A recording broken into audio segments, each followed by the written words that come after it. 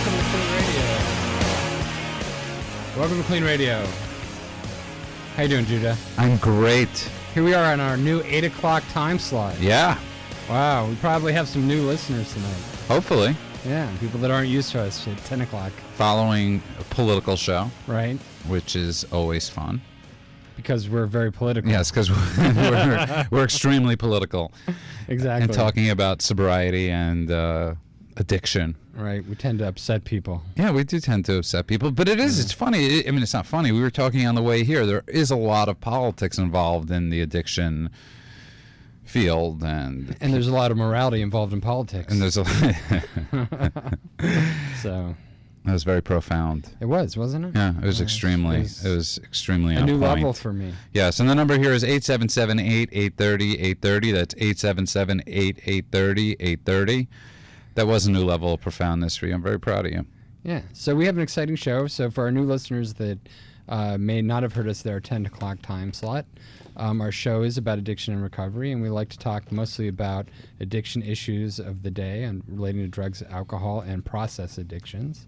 Um, and then also we talk about And a lot life, more exciting stuff than that. and we talk about life in recovery. Yes. People that have gotten sober, and uh, And people that haven't and people that and haven't. died in uh, car crashes This is going to be our in their in their hot Porsche. lead off topic. Why don't we introduce our Well, first first of guest all, I think I think Lindsay Lohan should be euthanized. I'm going to come out right and say this right away. She serves absolutely no purpose to humanity or society. Wow, that's that's not exactly sort of the loving message. And was that's not hoping Klean's opinion. in my and just we always forget to say that. In my opinions, in no way have to do that- with She's been trying to euthanize herself. It's Yeah. called it's called drinking. I say I say I say we help. I see what. I say we progress the progress, the, the progress Uh, the uh, process. Wow. Well, we have Eric Hahn in our studio tonight. Great, great uh, comedian. Thank you for having me. What's your last name? My last name is Hahn, H A H N. You didn't get that the whole ride down. No, we were, we actually had a really fun ride You guys down. were holding hands the whole Yes, way down. You we actually were. Names right. I went into the back seat after I was sitting in the front seat, Wow. and um, It was a very entertaining ride. yeah, it was. It was. Uh, it's that's exactly how Klean treatment is, by the way. Just so you know, like if people ever wonder what the Klean facility is like, it's a lot of good bantering going back and forth between people. It's a it's a friendly, fun place. And the ride was nice. I really Yeah. appreciate that picking me up. Andrew, Yeah, Andrew- it's Schlepping we're all a the way full to the service west radio Oh show. my and, God. yes, Amazing. Appreciate it. but yeah. So Okay, so let's get on topic. Yeah. Because you know, So, you know, we this have guy- this eight o'clock time. this guy died. now. This guy died in a drunk driving accident. Ryan Dunn from Ryan Dunn. Jackass. from Jackass Yeah. crashed his uh, Porsche going 130 miles an hour. Right. See, this didn't surprise me. But Like, uh, blood was- alcohol level of 1.9. No, it didn't surprise me. It, d- that doesn't surprise me either. What's sad though is that he had a, somebody else in the car with him. Right. You know that served our country, did three terms. You know, who was did- also drunk. who was also drunk, Right. and uh, that doesn't make it any better. But uh, who was it that predicted like you know one of the one of his friends you know had him in a dead pool of dying in a in a in a drunk driving accident. Right. And you know you well, see Bam had predicted it. Right, like, and you well see Bam before. Margera. Also, you see him there. Like, and I don't mean to be flippant about this, but you see Bam Margera, you know, doing this eulogy basically at the site, crying. Bam Margera, who's also had a DUI. Right. You know, drunk on TV. Right, who, who will probably be next on the list Right. to die in a, you know, and it's it's it, it's sad, but that's what happens. I always, I always thought drunk driving was one of those things where everybody knows you shouldn't do it, but It's like using a you- condom. You have to do it. Like you, when I, when, in my drinking days uh, in Ohio, you had to drive everywhere you went. Right. And the parking lot was full of cars, and everybody was getting loaded inside. It's well, like we really have this weird sort of double standard about it, right? I mean, like we say nobody does it, but you know the but bars have huge parking lots, Right. Mm-hmm. Right? We know that there Well, are that's what we designated before you got in the car. I, I said to Andrew, I said I don't want to get too political, or you know, I know Andrew's against, you know, I'm against big government. I'm against nanny type government, but I do believe it's like it would be a great system. Listen, if you if you go drunk driving in New York, you're just an ass. You know, because it's like the one place where you don't have to be a drunk driver. about New York City. In New York City, because you could just jump on the trains. You you know, you really Yeah, but Lindsay Lohan doing cocaine on her dashboard on Sunset Boulevard First of all, she should have known found Again, euthanized. right? Um, again, another reason why she should be put to sleep. But right, but I mean, Um, you know, I mean, if you're that rich and you can't get a driver, But- right. I mean, what, what's the But problem? he- again, that's where the insanity of addiction and alcoholism is, And poor is- judgment. and poor judgment, which is always to, together with al- you know to alcoholism. I mean, y- y- you don't see the best judgers when they're drunk, but we and, were, uh, and everybody that drinks believes that they they can drive. Right. Like they're, you know, Well- you can have three, four drinks and think you're fine. Right, and it's also like, oh God, I don't want to have to get my car in the morning. You know, Right. I'd rather die. I'd rather die in my car tonight or kill somebody than have to take a cab to get my car in the morning. You know, that's the crazy. That's you know, but again, when you're drunk, you're not thinking rationally. There's no, you know, I mean, how many things are passed around when you are, you know, in an altered But I, state? I think when you're a celebrity, though, you're living in a world of people surrounding you saying yes, yes, yes to everything. Absolutely. So, I mean, after about a year of that, you just start thinking Yeah. that you know I can do anything. because you're in your own world. Sure, and that's why that's why you have these hot. Uh, male actors that get caught with a hooker you know you know like on sunset boulevard because they, they can get anything they want so they it becomes a turn on for them to, to get something skanky So we now know You know that what Eric thinks that Eddie Murphy's hot. Or, or Hugh Grant. Or Hugh Grant. I, Who figured- I thought you were talking about doesn't? Hugh Grant, by the way. or way. Hugh Grant yeah well but but again, it's like, but Just you, uh, to, you know, But the discussion was, and I said, when you go into a bar in many of these places, you're right. We're we're not a trans we're not a trains city. We don't have trains in California. Really, you know, the public transportation stinks. I'm sure where Ryan Dunn in Pennsylvania, it's not exactly the easiest to get from your house to the bar. So I said, whenever you walk into a bar, you should have forty dollars and your keys. You put it in an envelope when you go in. You stick it in. When you're about to leave the bar, the bouncer, you know, has to give you a breathalyzer test. If you pass, you get your keys. If you fail, the forty bucks to get to, Oh, my gets you a car ride home. Yeah, It's but just- bars are a business. Let's be honest. I mean, they're not going to do things like that. why not? It wouldn't deter many people. I don't think that would deter that many people. Uh, I- But, you know, they said the same thing about if you cut smoking out of bars, uh, it you know, people are going to stop going to bars. It hasn't happened. yeah It's just because people are w- more willing to go out and drink and then worry about, you know, smoking outside the bar in the five degree weather. So at this point, you know, if you had to have, you know, it's better to put precautions on something. There's a lot of clubs that open up in New York, though. It took away from the bar business. Um, I mean, uh, not tremendous, not as much as they thought. Yeah. They, I, I just think legally, I don't think that owners of businesses should be responsible for people's drinking. You know, you hear about these restaurants that lose their liquor license or they, they get uh, fined heavily or even Right, put and in we're all jail paying for that with the extra insurance that they're having to pay. You know, with those liability insurance for bars and restaurants. Yeah, and it's like if So- somebody comes in and I can't tell that they're wasted, but I, I serve them alcohol anyway, all of a sudden now I'm legally required to be responsible for their safety. I just think that's Right, baloney. but but again, if you were a bouncer and you set up one person's, hey, I'm creating jobs here. The Republicans listening to this network should love this. We're creating an extra job where This is the worst idea you've ever, you've ever had. it might be one of the worst ideas I've ever had. I'm just trying. I don't see I'm just trying. I'm just trying. I'm just trying to figure out ways that people, you know, could save their lives and not get in their car drunk.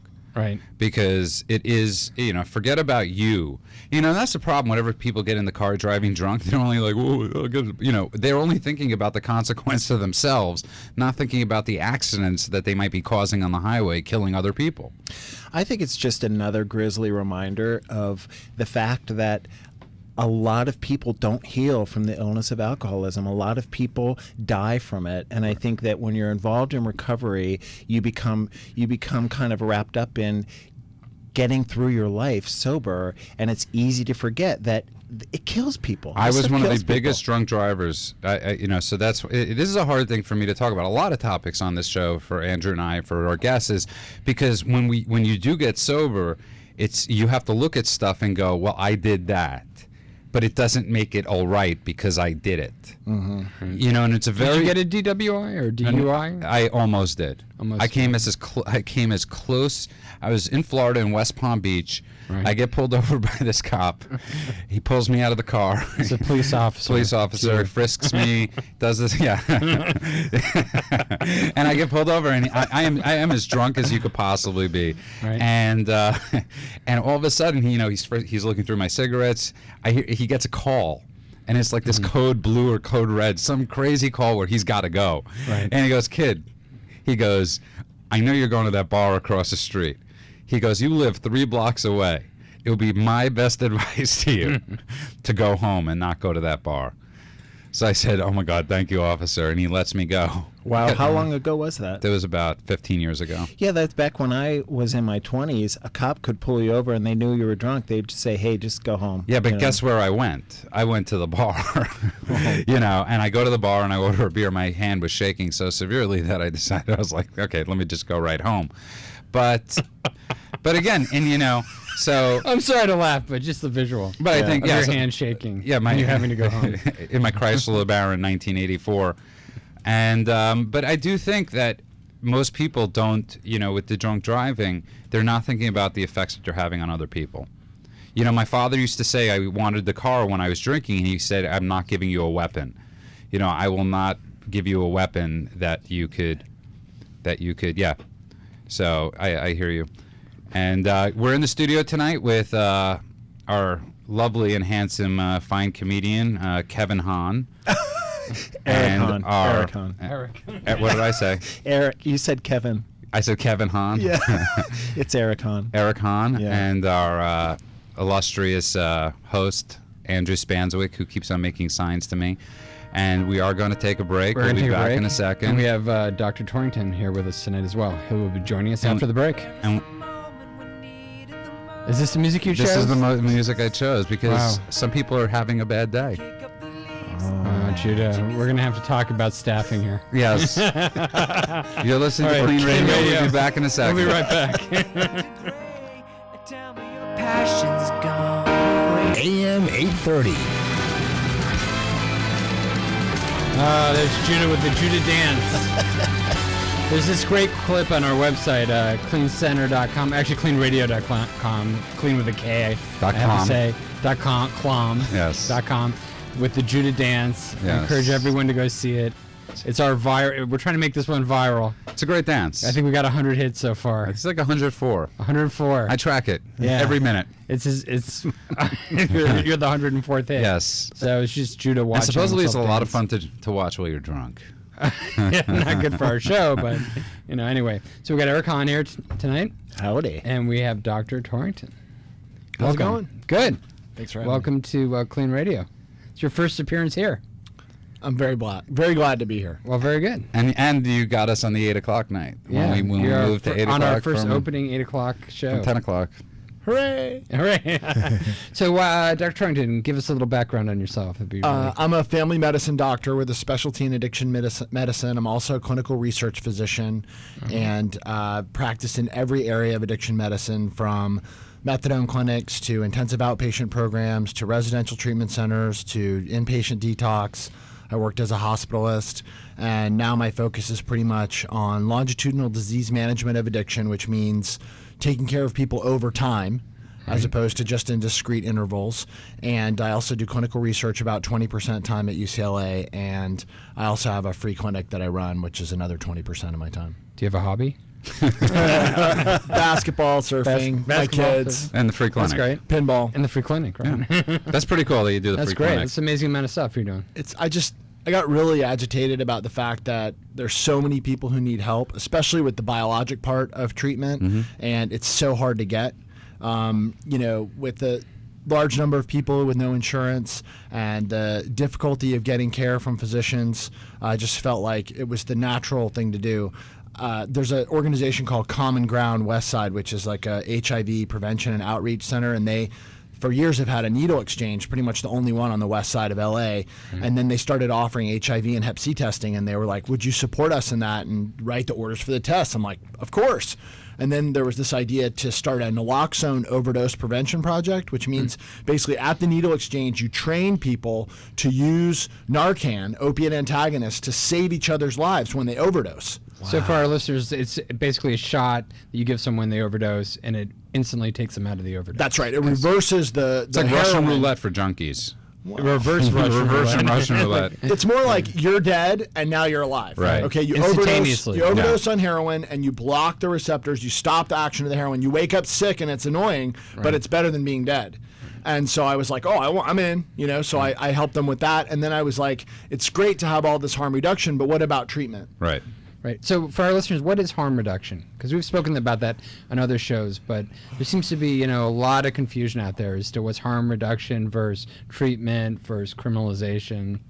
That's a really good question, I'm sure that there's a textbook decor- de- uh, definition that someone other than I could look up. But my when I think about harm reduction, I think of any technique that you can employ to reduce morbidity or reduce damage to the person who's suffering. And so that means that I don't have a particular definition of what recovery is. I don't say everybody has to make it to, uh, you know, living great, not taking any medication, being wonderful to every person that they meet, never lying, and wearing a cape. Because that would be a saint. You know what I'm saying? It's like, it's like that doesn't to me like I, Or I me. It's, Right. it's just whatever you know. What it what recovery is is what it is for that individual, and if some people's idea of harm reduction is like people smoking pot instead of drinking alcohol. Right. Well, I mean, You're basically saying I'm willing to, you know, harm reduction is whatever gets you to the place where you could get better. whatever avoids damage to you. Right. Whatever can, or, or death. Right. So it's like Right. people are going to use drugs intravenously. Give them clean needles so they don't get HIV and Hep C. No, I really don't want people using drugs intravenously, but I really don't want them to get HIV and Hep C. And if that's preventable, I'd like to prevent that. Well, that's obviously a very, you know, that could, that that that conversation could bring out a lot of opposing views on the other Well, I, side. what I think is interesting is that the, you know there's been several different camps. There's you know strict prohibitionists, sort of like uh, you know you've got to if you're going to stop drinking, you've got to stop drinking completely. That there's no way to moderate your drinking. Then there's people that believe that there are ways to moderate drinking.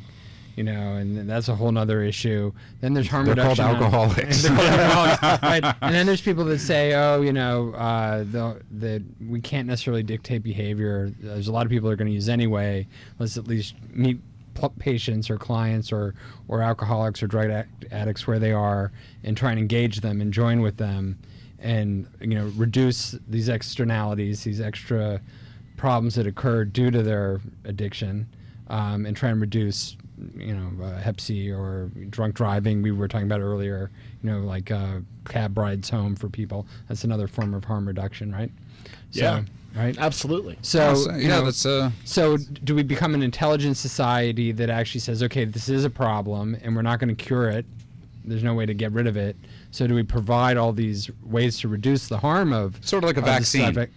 Subject? sort of like an it- no, intellectual vaccine, vaccine. would stop it though, right? This, these are things that just minimize the externalities or extra symptoms that occur because of of, of the actual disease of ad- addiction or abuse of drugs or alcohol. I mean, there's a huge difference between use and dependence. And there's a difference between use, abuse, and dependence. Right. And so it's not about like, you know, alcohol being the problem. It's the use of alcohol to the point that it destroys your entire life. That's the main issue, right? So like I'm not out there in bars telling people don't drink. Right. Right. But when people are continuing to use to self-administer drug or alcohol against their will, to their detriment, to me that's where the battle is. That Okay. complete loss of control. which is addiction and alcoholism. Absolutely, and Right. that's you know to me that's that's where the fight is. Right. So you're basically saying I'm willing, which I agree with. You know, I'm willing to do whatever it takes to keep you alive until you could get help. Or I'm willing to meet you where you are. And Right. if and if you're somebody who says, "Listen, I have no interest in stopping using." No problem. I, you know what? I'm not here to tell you what your goals are, but if you are going to keep using, I much prefer you not to get HIV and Hep C because I'm going to pay for that anyway down the road. And so let's just avoid that because that's bad. You know, in the 12 steps, there's two camps. Too. I mean, there's more than two camps, but to just you know, there's the people that oh my fr- my sponsor or my friend started drinking again, no more connection, or they're the people that will say to them, listen, I love you, call me whenever you want, let's talk, we could still hang out. You know, and I'm not going to give up on you or whatever it is. And if you decide one day you want to get sober, maybe you're not an alcoholic. Whatever it is, we're still there. And Yeah, I think in the therapeutic community, it's it's Uh, it's much more about joining with a client. You know, with family and friends, it can be much more difficult because there's so much anger and resentment towards the addict. You know, they've been there's been so much disappointment sometimes, so many failures of attempts to get the family member sober, and they're just like, I'm sick of it. And then you have this tough love aspect, which I actually don't agree with. I but a lot don't agree people- with it either. A lot of people do sort of adhere to where you I believe tough you love is like electroshock therapy. I mean, to me, it's it's. It You mean was, in, in it being? it was a concept, but it's it's. well, ECT it's- actually is now very well. Oh, really? Yeah, It definitely can, it can make a difference. Yeah, ECT has actually come a long way. They've improved the treatment. What about lobotomies? Are they still? No, lobotomy's a better example. Is, is that Right. still? Yeah, stick with lobotomy. But I think, but I think when you talk, I mean, and I think this is something we all have to be really careful of. Whenever you generalize, you're going to be wrong. Right. And the reality is, if there's one thing I've learned in this work, is that it's one person at a time, one individualized solution at a time. Because there isn't one answer and there isn't one way to solve this problem. It's always going to have to be a specific situation for people. So maybe tough love isn't like in general the right answer, but if people don't have contingencies, like, you know, if you do this, then that will happen. If every time they do this and that never happens, then they have no motivation to stop doing it. But that's a consequence. I, I, I think when people hear tough love, it come a lot of the time, it, or the stigma to tough love is that it's like, I never want to see you again. You know, it's like you're my hmm. son. Get out of here. You know, these are the consequences. And you know, just to use my father as an example, my father used to say, as long as my son's alive, I, I, I won't stop trying to help him. That didn't mean he was going to continually give me money or give me access to a car. now he It- does that. yeah, he sort of does. Now that you're But- sober now, he right? does. But then it was like, as but, but if my son ever needs treatment, then I will that, I will gladly get him into a place where he could get help. So that So does that mean does that, that that's not tough love? in I don't consider that. T- I, I consider. Uh, I used to know a therapist in New York that used to call that love tough. You know, and he used to switch the words I like around. that. Where you know, idea, yeah. and and and it, it was like I heard this guy, this great twelve step speaker named Scott Redmond, share, share this one time. He goes, you know, we treat people with the anesthetic of love and the the, the, the anesthetic of the scalpel of love and the anesthetic of pain, or the anesthetic of love and the scalpel of pain. It's basically like I'm, you know, I'm going to give you the right, I'm going to give you the story, but I'm going to love you when I give it, give when I tell you the story. You know, and I think a lot of people don't know how to do those two things at the same time. Say, I, you need help. I'm going to bring you through this. And you know, I don't think. You, it, it, I, I hear what you're saying, and I guess part of what I would say is that, like, you know, to me, that's tough love because it's tough to not give you money when you call crying. Right. It's tough to take away your car when you know that you're not going to be able to get to work and it's going to really make your life really difficult. But it's love to stay in there and hang in with there with the loved one no matter what. But it takes that toughness to hold them accountable and to make sure that the person who's working the hardest is the patient. Right, but I don't think people get that point. I'm saying when people are being told these things, I think they're getting the the, the, the idea in their head of cutting them off, that they're cut off. I don't believe that people are like, well, they're cut off, but unless they need help.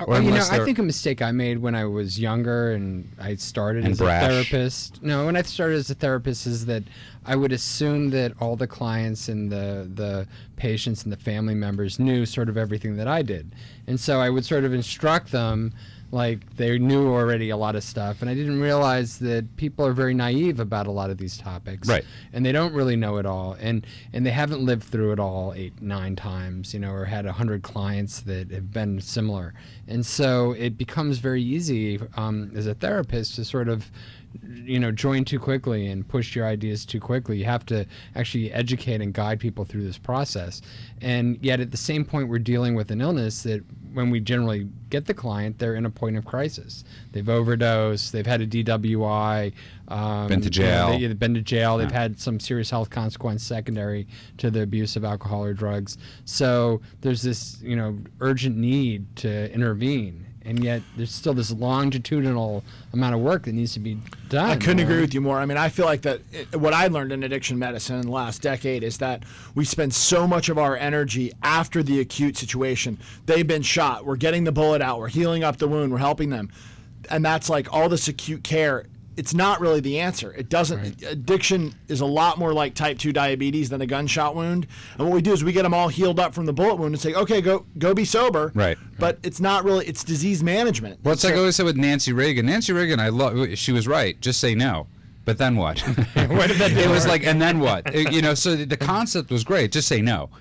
And what are they supposed to do? You know, Gandhi had that famous line: "If you're going to take something away from somebody, you have to give them something of equal or greater importance." So if you're saying to an 18-year-old kid, you know, I quoted Gandhi there, and if you're if you're pretty awesome. yeah, it's pretty awesome. Nancy Reagan to and uh, from Nancy Reagan to Gandhi, and Gandhi. and uh, it's but if you know, we say Actually, to they were the same person. Nobody knows that. But, but it's something. It's it's. they could have been. It's it's something we talk. They both were But it's something we talk about on the show a lot. Is you know after the drink. What do you do after you're sober? And I think that's one of the things that's that's not spoken about a lot is the life afterwards. Yeah. And you know, like you were saying about longevity and care. That's part of it. Is like when I was 18 years old in rehab, we used to have this drug counselor that took us to like REM and Radiohead shows in Israel. And I remember thinking there. I well, remember that's just too much information for my mind to comprehend. R- no, REM Radiohead and Radiohead opened for in RE Israel? in Israel. Radiohead opened Oh. for REM in Israel, and and it was it was when they came out with Creep. It was great. That's when they came out. with Creep. And I remember, th- and he re- he said to me, he goes, "You might hate sobriety," he goes, "but there's one thing you'll never be able to tell me." And I said, "What?" He goes, "That it's not fun." Uh-huh. And he was right. I oh, I was never able because you know you always hear people say they get sober and they go, "Oh, it's gonna be so boring. I'm gonna have no fun." And he showed us how to have fun. He showed us how to have life, and I think you know one of the things we try to come across on the show is you know we have a comedian in tonight, we have you know people with careers going on that are sober, is that there is life after. Amen. All right, well, we're going to go out to a quick break. Uh, it's Klean Radio. Oh, that you finally picked a good song. Yes, I did. Right? No, it's Vanilla Ice. Um, the number here is David Bowie. I know. The number here is 877-8-830-830. That's 877-8-830-830. We'll be back in a couple. Okay.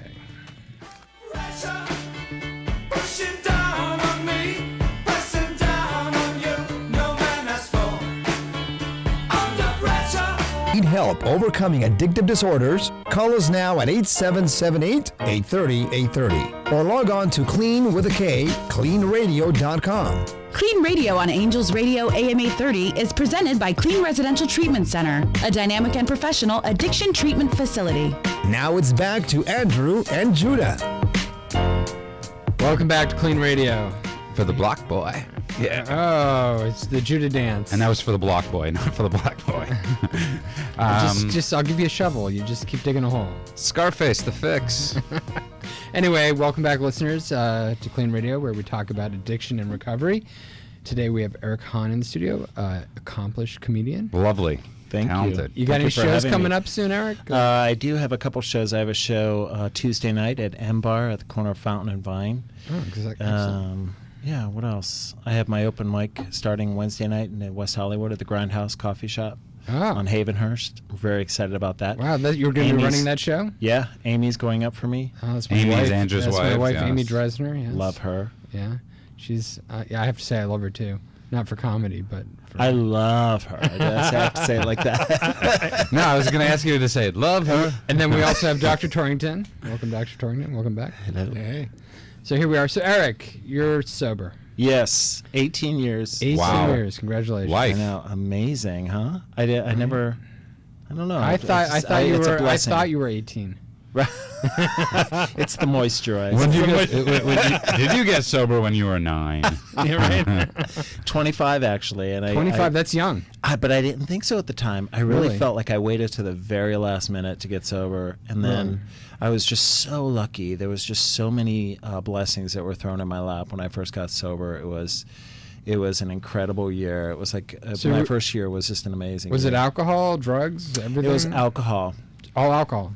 All alcohol. Hey, that makes the two Wow. of us. We're like dinosaurs. Right? Everybody we see now is We're a mostly dying poly- Yeah, it's Old poly. school. Yeah, Right, it's old old school. school. Yeah. Dr. Torrington, that's, that's so boring. That's so Hello, easy to treat. I think it's the hardest, actually. You think just straight alcohol is hardest? Dude, I don't. I'm last time I went in the grocery store, nobody was trying to sell crack there. That's true. And when you go into somebody's house, they don't offer you crack. When you sit down at a restaurant, they don't offer you. Or crack. go to a baseball game. They're not bringing down like a rack of joints. That's right. you know, or a rack of ecstasy going, three dollar ecstasy, three dollar ecstasy. I mean, you know how hard it was my first baseball game getting sober.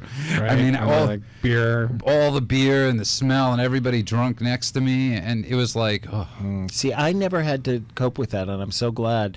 Once again, it was a blessing for me Because that you I, don't like baseball? I got, because you don't like sports. Didn't go to the Dodgers. right. I would like sports if they hugged more. There, I Oh. think there needs to be more hugging. It's called wrestling. It's called wrestling. Yeah. or boxing MMA. these days. We got a sport for you. Don't worry about Yeah. it. Eric. I'll give you a little tough time. You're, you're looking to have a tough time? Go to an MMA show. Patrick will get you tickets. He, Yeah. he films them. So there you go. Nice. That yeah. Anyway, so anyway, so you were drinking a lot. I was drinking a lot. I started drinking when I was 12 years old, and uh, Mm-hmm. I knew my drinking was a lot different from everybody else. It was so important to me. I And you grew up in the Midwest. grew up in the Midwest. I grew up in Ohio. You know, the snow belt, the corn belt. My See, I, when it's snowing, what else can you do but drink? I mean, I know that's that's that's what you do in Ohio. You And tip, just- ta- tip cows. and tip cows. But you know, I tell people when I was 12 years old, I could buy alcohol very easily. Really? Oh yeah, It, just wa- go to the it, next it over. changed. It changed. Oh, yeah, it used did. to be a lot easier. I mean, you know, when you could just sit on the bar stool, they'd serve you. Now Well, it's see, I lived in New Orleans, and they said if you were old enough to reach the bar, you were old yeah. enough to buy a drink. Now it's the total reverse. It's easier for kids and To young people to get drugs. drugs, than it is, you know, rob somebody a parent's medicine cabinet than it is to go because of you know. get stuff off the internet. Right. Well, yeah, I would just walk into stores and act like I know what I was doing and just be really confident. I was taller than all my friends, so I was mm-hmm. always the one that bought the booze. And you were bald. I was bald. I was bald. I had crow's feet when I was nine. he just shaved his head in the middle. Of yeah. The number here, by the way, is 877-8830-830. That's 877-8830-830. You could also listen to us on kleanradio.com. yeah. So, Eric, so how did you get sober? You decided one day.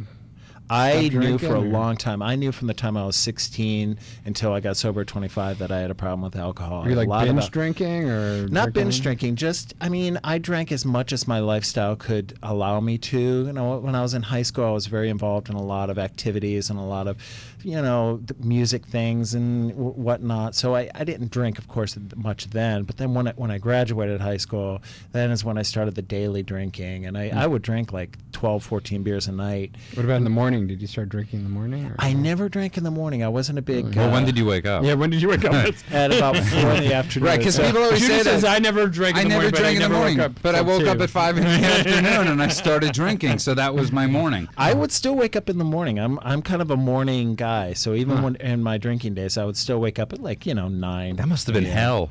It was awful. But I was young. I was young. You know, you drink all night, you, you Right. get an hour of sleep, and then you wake up and you just do it again. You But know? that's the problem. I'm very similar. I think when you when you meet the just people that drank, we knew.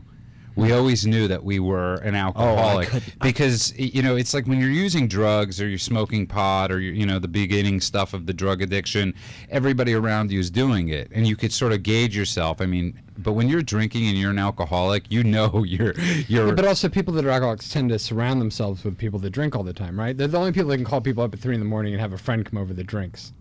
Well, right? You know. I uh, I just I always envied these people that had all this denial because Yeah. I thought you know I could use some Yeah. denial because I it was so evident to me that that alcohol really ruled me and and really drove my bus. For a did you try time. and stop, like, or did you? Like, I what- never tried controlled drinking. I never tried any other method. I, I I knew I wanted to. I knew I had to go into treatment. So Hmm. I, I I chose to leave Ohio and I went to Boston to a, a facility there, and it was an amazing, amazing uh, rehab. Uh, and it was actually for people that had multiple disabilities as a result of their drinking and their drug taking. So I was the only one in the program during that time that didn't have any physical ailments from drinking. You know, I was 25. Right. So I had like about 20 people on the floor with me that, that were in wheelchairs and walkers and Wow, that's a wake up call. yeah, big time. Right, So yeah. he, the guy that uh, let me in on that program, w- he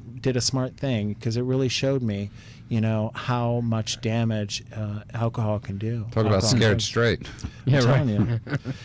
Well, So well, well, speak. relatively speaking, right. Also, if you can stop young enough, you can stop before your brain is really severely damaged. And even though you may have already been drinking abnormally from a very, very early age, um, stopping young is a great thing because it leaves your braking system intact. I generally think about each person as being born with sort of a different kind of genetic braking tone. Some people are born with big, burly truck brakes, you know, and their brakes last a long time. And some people are born with small little car brakes, and their brakes don't last nearly as long. And it's really important that you retain that ability to stop when you know the front part of your brain tells you to stop and and so quitting when you're young is a great advantage Except It's- when you get here when you're young, you absolutely hate it. You know, at least I did. I used to be so jealous when I got when I got sober. I was 22 when I got sober, and I used to see these people like a human when they were 40, and all I could think about was, "Wow, you had an extra 18 years out there." That's all I could think about. And then I realized one day, because you know, when when I got sober young, people would always say, "You're so lucky you got this while you're young," and I would look at them and go, "You are so lucky you got this while you're old." And then I realized, no matter what age you get sober at, you are miserable in the beginning. You know that you, when you come into a, to, to a 12 step program or a rehab, you should be miserable. I think a lot of people are relieved. You know, Well- I think for a lot of people, addiction is painful. Well, I think for me, when I know? came in here, I was, I mean, I probably have a different experience than you did, but when I first came in, I was uh, like, oh my God, I got to do this for the rest of my life. Well, for me, the surrender came the day. Uh, it was very dramatic for me. I can remember uh, vividly walking into that rehab with a suitcase, and I just thought, "Wow, this is." This is just it. This is the bottom. I've hit bottom, you know. Hmm. Have you And ever relapsed? I never relapsed, and That's I've incredible. So that's amazing. I, Yeah. Right? Yeah. pray I never, you know, it's funny because I don't have a physical compulsion to drink. I, I, that was lifted from me. I know God lifted that from me very hmm. early because had I had to grapple with that, I probably would have relapsed because I am all about physical things. Like hmm. cigarettes is another thing. Like cigarettes took me forever to quit smoking because I, I, I just physically had to have them. But alcohol, I, I just You know, it's funny because people have now become aware, since it's plainly obvious, but that cigarettes are bad for you. But in and you're talking about alcohol, you know, uh, that you know, the earlier you stop, the more likely you are not to have brain damage. And it's amazing how many people really don't think alcohol is bad for you. yeah well i mean that's because in, in moderate quantities it can be helpful so that's the real dichotomy of alcohol Very moderate. Let's yeah, like one- moderate. One, drink a day. one drink a day. One right. drink of red wine a day. I mean, they, there's another study that came out recently just confirming that, and so that be, becomes this incredible double-edged sword. Um, and Which makes it harder too. Of course. Because it's a socially acceptable thing. You know, how many people would say to you, come on, you could just. Well, I remember when they put the cancer label on alcohol, and I was like, "What?" I mean, it was Right. like, you know, But like if you were a crack, like- if you were a crackhead and like you got sober, nobody ever is going to go to you. Come on, just you could do a rock. you can smoke a little. Yeah, you Come can just do a rock every once in a while, can't you? A lot of people thought cocaine was no big deal when it came out. You know, like, Oh, it was, and you know, the story I guess was that like some doctors at Harvard were partying with cocaine, and they noticed that one of their buddies had a stroke, and they took him to the ER, and then they started doing some research, and they're like, "Wow, potent vasoconstrictor at the smallest blood vessels, Right. Hmm. Small blood vessels in the brain, in the heart. That seems like a bad idea." Which is amazing too, though. The, the myth there's a, like a myth in the '80s was that Len Bias, you know the you know the former first round pick of first pick of the draft by the Boston Celtics, who died th- with a day Second later. time he did Second pick. Uh, They say it was the first time, but I mean, supposedly he had a lot of scar tissue on his, or am I thinking of Reggie Lewis? But nonetheless, that really was Len. Bias, yeah. It was Len Bias. That re- I think Reggie Lewis also died with, from scar tissue on his. Uh, you see a lot of heart. cardiac arrests though in sports from related to amphetamines, not just And- cocaine. Right, but I think that also brought into. I remember that was when you started hearing about how bad it took this athlete to die on the night of his draft. That people say, well, maybe coke is an issue. Right. But but in the, uh, back in the day, you know, cocaine was commonly found in doctors' offices. It was the treatment of choice for nosebleed. I mean, it just wasn't really considered to be this like How really, ironic is that? really Yeah, that serious- is oh, potent vasoconstrictor. Right. You know, Yep. Well, it used to be in anesthetic. Coke. Did, would- Well, wasn't it in use a it for eye soft surgery, It wasn't they? like wasn't it in Coke? Yeah, but What- that was in the 1850s. Yeah, well, that- 60s, you know. And Dr Pepper was created to help your stomach. How old are you, when Nancy Reagan was a, Back when Nancy Reagan was a young girl. Uh, she was like, just say yo. oh boy. Sorry. right. So comedians always got to take us there, right? yeah. but I mean, it's interesting to talk about smoking because smoking kills more people than all the other addictions combined. Right. It's insidious. Number I- one. smoking, and because of the fact that people s- still think of smoking as harmless, because you can do it d- while you're driving. You can do it at work. You can do it. But that's what makes it so insidious that it incorporates into your life.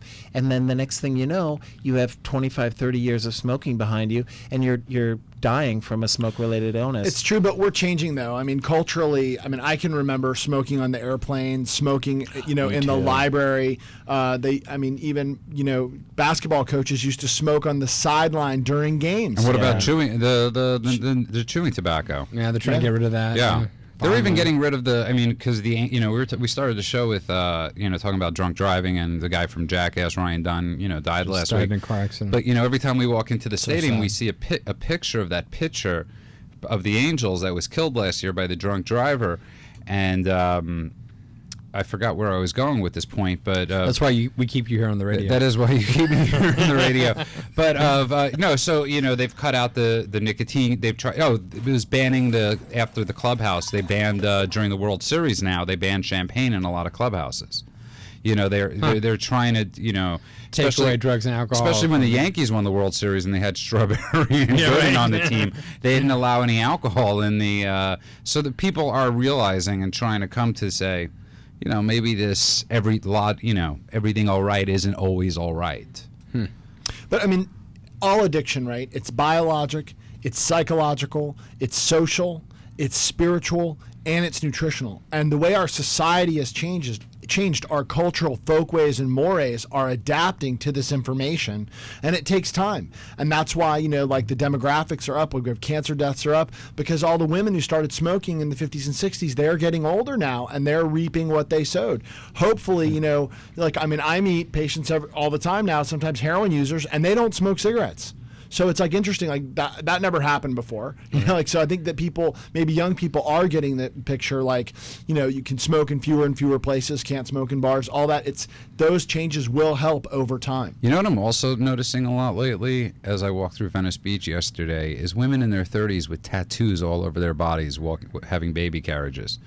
Now, to the young people out there, this must is stop. this- what is Well, I, I don't know. must I. I, I just, it's, it was just something. no, no. As we've changed, as tirade. it's, it's, it's, yeah, it- What it- is- that's the most tangential statement yet. Yes, on this Klean Radio. This was. It, it, it was. I was walking. I was walking. Note that on the timestamp I- for another Judaism. Yes, I was, but it's, I just started noticing women in their 30s having these tattoos all over their bodies. You didn't see this 10 years ago. Now I sound like a 90 year old man. Right? Well, is it what you But uh, about? Like- we- we've changed this as a society, is what I was. on really- Venice Beach, really? it's there's all- always been tattoos on Venice Okay, but Beach. uh, you, you wouldn't see it basically with 30 year old women walking baby carriages having, you know, their whole back tattooed. okay, That's Well, just a. I Yes. just think I just think it's fashion. I mean, it's awesome. yeah, right. I wasn't complaining. You were. Uh, yes, I am. You're Jewish and you don't believe in tattoos. Let's be honest. There you go with your anti-Semitic. I'm just saying. That's that's not anti-Semitic. hey, I heard that's not true. Actually, somebody, uh, uh, a noted source said that that's actually. They've actually been changing the policy about being buried in uh, Jewish. Well, the two big myths about Judaism are the one, the sheet. You know, anytime any sheet. anybody time anybody ever walks up to me and goes, "I have a question for you," I'm like, "No, we don't have sex through a sheet." Right. Um, and the second one is what? I never heard of Yeah, that. the Orthodox Jews were. there's It was a long whole Curb. Your Enthusiasm episode, and the second one is the burial about suicide. Is one where you you're, you know if you commit suicide that you will not you, they don't really allow you in a Jewish burial site.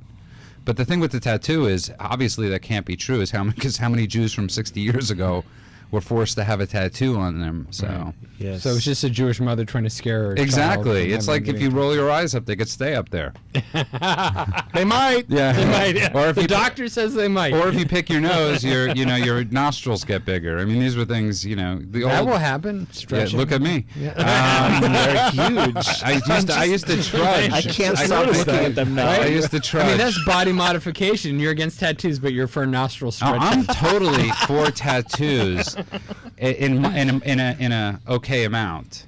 in an okay, and what amount is that? It's That's just the most ridiculous statement I've ever heard. okay. You're the Carl Pinkelton of clean ra- radio. Okay. and you know why I get that right now because I was watching an idiot abroad Oh, yesterday, were? and it's Pinkerton, Pinkerton. not oh, Pinklerton. me. Yes, get the Okay. name right on the insult. Okay. All right. okay if you're going to insult me get it correctly and Wow. uh, okay. you're listening to Klean Radio. The number here is 877-8830-830. The Right. number here is And if you want to insult Judah, call, give us a call. Give me a call. It happens on a weekly basis. Andrew's mother, who I'm going to meet this week, actually defends me. Last week, our guest, she calls me up. eh, She goes, she goes to Andrew. I think he was a little hard on Judah, and he's actually a friend of mine. We had an FBI profiler Yeah. last week, which, by the way, if people want to see the show, they can go to uh, Kleanradio.com. kleanradio.com, clean with a K, and um, and uh, watched the show from last week. And the guy was just brutal. Yeah, he was. He was? Yeah, he Yeah. just took Judah apart. yes, he Yeah. was. Profiled And, Judah. and he's my friend. and he's his friend, right? He was nice to everyone else, and just And the, went after Judah. The note to self is no more friends in the studio. Wow. Did you guys have a falling out? Did no, no, no, no. We are friends now on Facebook. the guy, the guy works for the FBI. You just got to stay Yeah. friends with him no yeah, matter you what. don't. Uh, yeah, he's he's a good guy. He just Wait, so we're not friends? I don't know. I know. thought- I was just like, well, you could be one of my 637 friends now. I'm in. what about that whole car ride from West LA? We're not friends. Does that mean nothing? Yeah, that we we broke car bread. God. bread. Once you hang out with a guy in a car for an hour and a half, you're friends. That's my. uh Well, car ride, make out, one of the two. Oh boy. Whoa! Just kidding. I'm kidding. that was actually you and Andrew. I took, Um, it to, I took it to a gay place. Hey, you know, I got to get guests. We actually did have a great conversation on the way here because we were talking about very topical stuff, you know, and we were And talking I'm about very out. I'm a homosexual guy.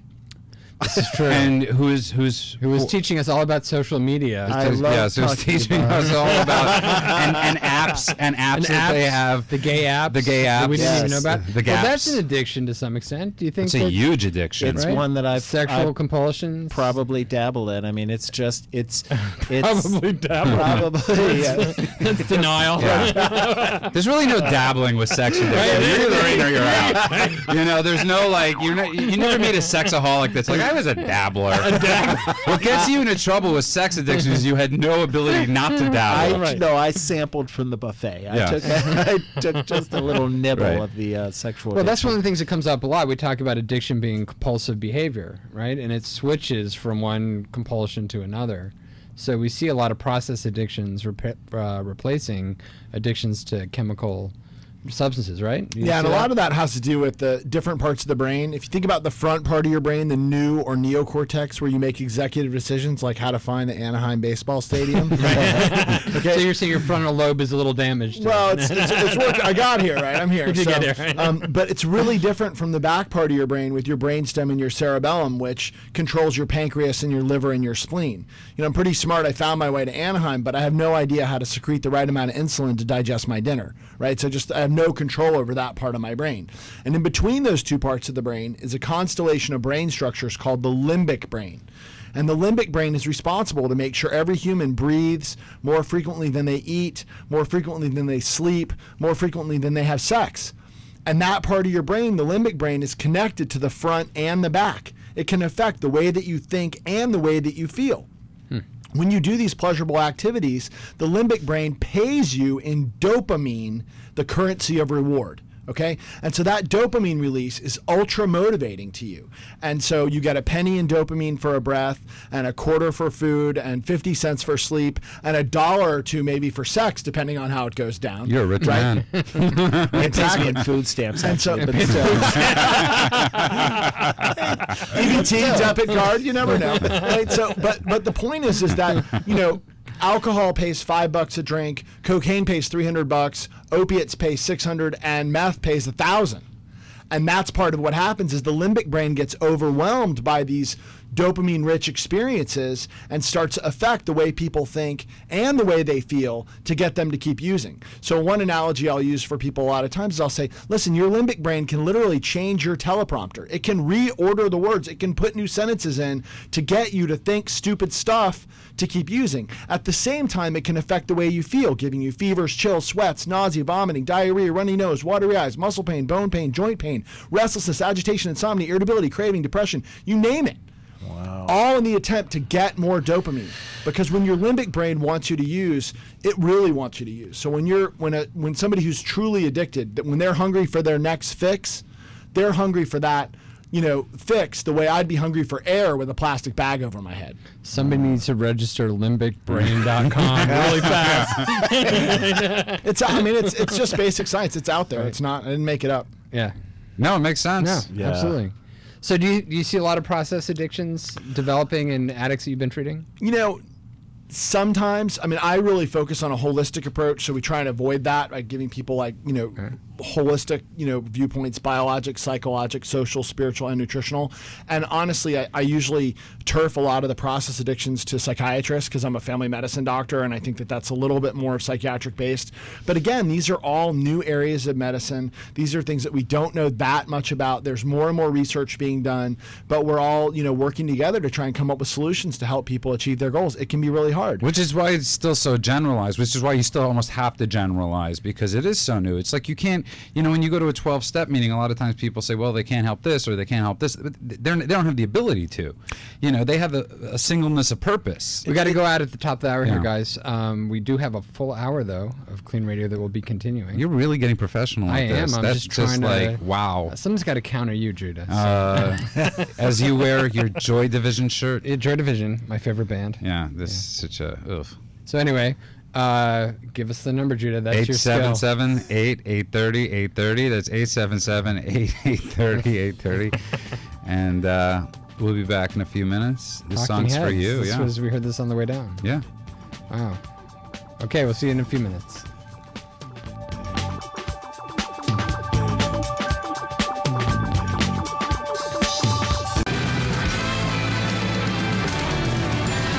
Ah, there we go. Back to Klean Radio. Here I am. I'm Andrew with our co-host Judah. Welcome, Judah. Welcome, Here Andrew. we are in our new time slot. It's nine o'clock. Normally we'd be I know. leaving for the studio. I was right thinking now. about it. What am I going to do after the show? right. I don't have to race back home. Right at one in the morning. One in the morning, try to fall asleep Right. Without any pills. without any pills. Wow. Yeah. Yeah. It's difficult. Yes. try some chamomile tea. Chamomile knocks me out. You're like the one person that it actually works on. It works. My sister uh, is an acupuncturist, and she also prescribes herbal medication. And she has sub- prescribed some herbs for me that put me right out. Like that. Huh. Talking to Judah works for me. Self hypnosis. You know what's funny I'm about gone. that? I think you It's so li- you're totally lying about Yeah, that I one because me talking to you makes you anxious, right, which isn't a good good for sleep. And during the break, we were talking about people do have an addiction to tattoos. This is Judah's theory that people can be addicted to getting tattoos. Yeah, I think people can be addicted again. I've heard that from people that have tattoos that it becomes addicting. Well, That- the pain's addicting, right? So I mean, you're you're engaging in something that's rel releasing some endorphins. Yeah, but it can- Perhaps. I mean, I, Yeah. I think people we don't know that much about, and I, I don't think the DSM five is going to include tattoo, Tattoo is addiction. I don't think that's right. ready for prime time. But I mean, Just because you don't have a lot of therapists with tattoos. now. Um, any pro- any process can um, become disabling if it's if the pursuit of it gets in the way of the rest of your life. and that's why I don't think it's addiction. I mean, I think people can have, um, you know, a desire to get tattoos, and it can be maybe disproportionate to desire to do other things that normally they would do. But it's just not something that I see as an addi- a true addiction. I don't, you know, I hear you, in the, but I think when you look at some of the extreme cases where people really change their appearance to the Full point body that there's- modification. They become- like, they really I want to look like a lizard. Well, they Or limit their the different yeah. opportunities that they're going to have in the future. But don't you think that some of that's an identity disorder? I mean, those are. But it could you become know, an addiction. I mean, look at the bride of that bride of Frankenstein lady that I can never remember her name. It was in New York. Bride she of was Frankenstein They, that's what they used to call her because she started to look like You mean the Jocelyn plastic surgery? Wildenstein. I think Yeah, was her she- name. Yeah, yeah, the cat lady. The cat lady, and Yeah, she, the- Right. that hair. she, she. I mean, the amount of plastic. What's her name? The one from the hills. I can't remember her name right now. who- Angelina. No, no, from the hills. Heidi- I didn't say the one that uh, has hills. um, um, the uh, what Heidi Heidi, what's her Heidi last Montag name? and Yeah. uh, Right. and her, with uh, her 18 procedures. yeah, and with her right whatever. and I mean look at Are Michael you an Jackson. Us Weekly reader? Is this like this is Um, what our show is descended into? no, um, but Gossip. you don't think that's an addiction? That that is a form of they can't stop. It affects their life. I think that's. I think that's. Nobody- Uh, first of all, nobody's died from getting tattoos that I wear. I'm aware of, so I'd rather focus on like nicotine, alcohol, stimulants, opiates, the stuff that's killing people every day. That's what I worry the most about. I mean, because like we're people are dying. Yeah. Every day. And I think if people have body dysmorphic disorders, which might be an indication if they're getting a lot of plastic surgery that they it's pointing more to that they have an identity disorder. They have problems with the way they look. They don't feel comfortable in their own skin. They feel like they should be something that they're not. And those do tend to lead to addictions. People tend to also mask those same feelings with alcohol. And we're also, drugs. you know, we're, I'm sure many. I'm listen. I don't know this, but I'm sure many of those people that have body dysmorphia issues probably are anorexic, probably have uh, you know bulimia, and those things do kill. They sure do. I mean, and I think that's when you think about addiction as being biologic, psychological, social, spiritual, and nutritional. That psychological and social point, right? That aspect of like where you fit in community. And, you know, our communities are so different today than they were 50 or 100 years ago. You know, it's, it's like it was an anomaly to actually have like a family that could survive as a nuclear family, just a mom and a dad and a kids being able to survive, being so affluent that they could survive. And now we have single parent families and single parent families where the single parent has to work all the time. I mean, mm-hmm. it's like the social structures and the way that they're changing and the lack of support and the and the and the way people are interacting is everything is changing so fast that I think that um, individuals are a lot more susceptible to feeling terrible and when they feel terrible they want to feel better which is natural and then a lot of things they do to feel better end up being destructive. I actually did another radio show this morning where I was a guest. You cheated was- on me? I cheated on you, Judah. Sorry, and uh, it was uh, it was actually a radio show about cheating, ironically. and um, one of the things that came up was this idea that uh, you know that uh, like you were just saying that uh, you know if you cheat or whatever. That, where was I going with this? If, like You're that- pulling at me. I'm pulling. I'm pulling at you. Um, Does it really have you rubbing yeah. off on me? How did it happen? Psychosocial changes. Right. So, hell, I don't even know. What I was Okay, but about. y- I think I know where you were going since You you, did? did pull me. You- But okay. uh, you know, using that as an example, and it's something I talk about a lot. I have a friend that's about 60 years old. Um, not about. He's 62 years old, and um, he, uh, you know, he he. I'm 20. I, I, I'm 35, and I got sober when I was 22, and I basically had all the years of my formative years. While they might have been a little stunted, I've somewhat tried to have catch up. But he's 60, and he never and he found Facebook, let's say, at 55.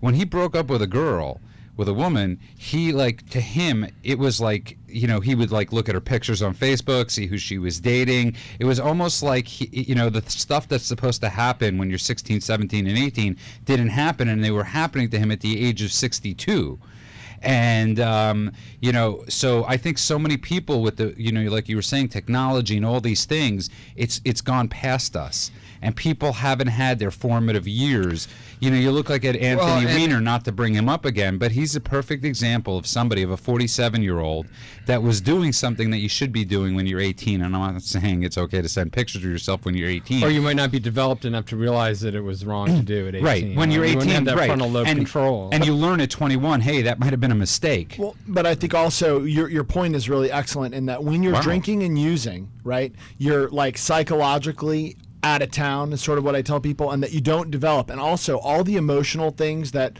happen to you while you're using, you're not able to fully process.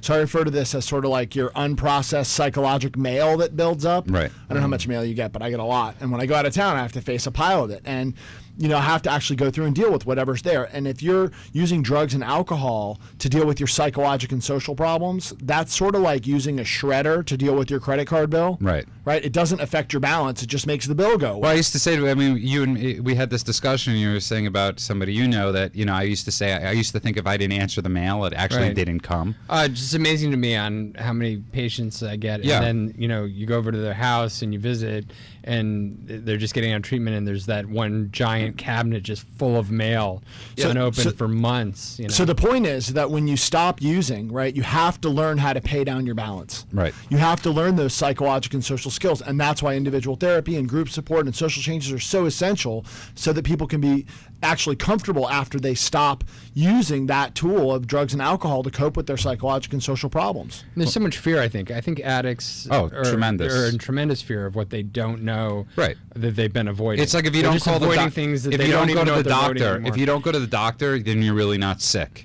And generally, they find out it's not as bad as they thought it was. Well, it was my thing that I, you cavities. know- my cavities when I got first got sober, I had like 19 cavities, and I mean it was the my first sober summer. It was like the summer of the dentist, and um, but that all Sounds would like a really bad movie. Yeah, it was. It was. It was starring. It it is. was We still starring- have dentures, man. on, on Lifetime. You're lucky you Um, teeth. But you know, I mean, we were talking. We started with the show, you know, talking about Lindsay Lohan, and I'm, I was sort of joking that But she should be what? euthanized. She's still a 12 year old girl.